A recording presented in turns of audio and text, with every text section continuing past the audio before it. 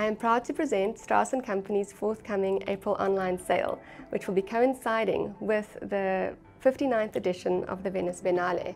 The history of the Venice Biennale dates back to 1895 and is often described as the Olympics of the art world, or as the great mother of all the Biennale activities.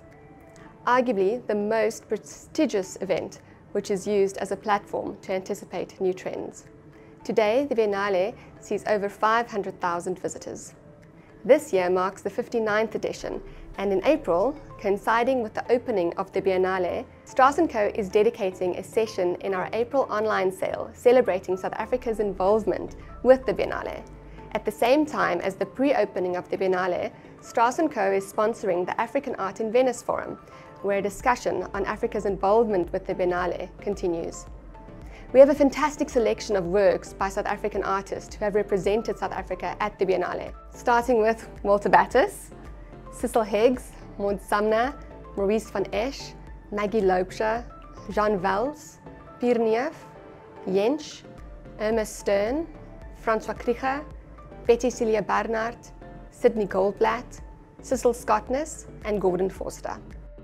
From the 60s, we see works by Peter Clarke, Dorothy Kay, Ewan van der Merwe, Kenneth Bakker, Gerard de Leeuw, Cicely Sash, Helmut Starcke, Judith Mason, Paul du Toit, Michael Zondi, and Lucas Sithole.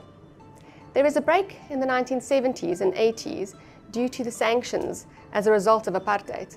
South Africa rejoining in 1995 with Malcolm Payne as the curator. And then after a lull again in 2011, this time with a 20-year lease set in place, securing South Africa's participation until 2031. We also have works on the featured session by the following contemporary artists who have represented South Africa since 2013, including a fantastic sculptural piece by Wim Botha, a photograph by Andrew Putter, edition prints by Penny Siopis, an intricate cubist by Willem Boshoff, and a drawing by Diane Victor.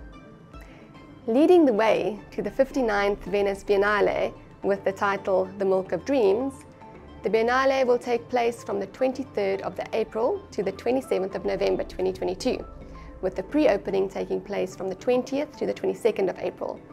Strauss & Co.'s online auction opens on the 18th of April and closes on the 25th.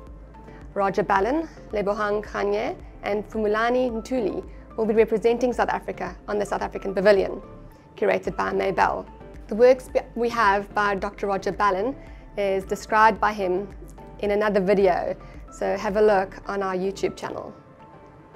To add to the featured session, we also highlight a few works by artists that have been inspired by Venice. They include works by Gregoire Boonzaier, Robert Gwelo Goodman, Terence McCaw, Hugo Naudé, as well as a work by the French artist Marc Aldine.